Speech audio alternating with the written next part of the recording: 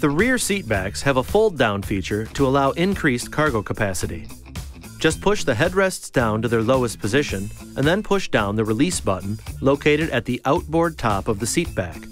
Now you can move the seat back to its folded down position to provide the increased cargo area. To return the seat to the upright position, pull it back toward the rear until you hear the latch click. This video is not intended to take the place of your owner's manual. For complete details and other important safety information, please see your owner's information.